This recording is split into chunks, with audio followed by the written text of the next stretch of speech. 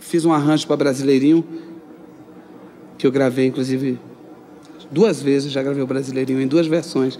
Uma versão de chorinho uma versão de jazz, que foi inclusive gravado nos Estados Unidos, não foi gravado aqui no Brasil.